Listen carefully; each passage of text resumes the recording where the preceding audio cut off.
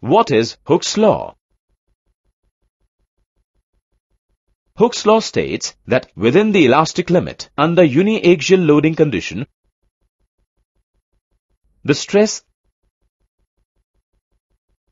is directly proportional to the strain.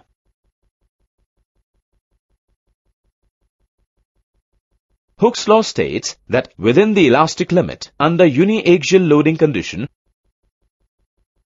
the stress is directly proportional to the strain. Mathematically, Hooke's law can be represented as or or where E is the modulus of elasticity and can be represented as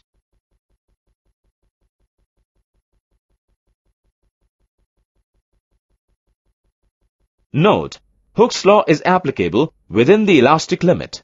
This means that when a load is released, the object will come back to its original position. Related terms are the elastic property, stress-strain diagram, and Young's modulus. Question.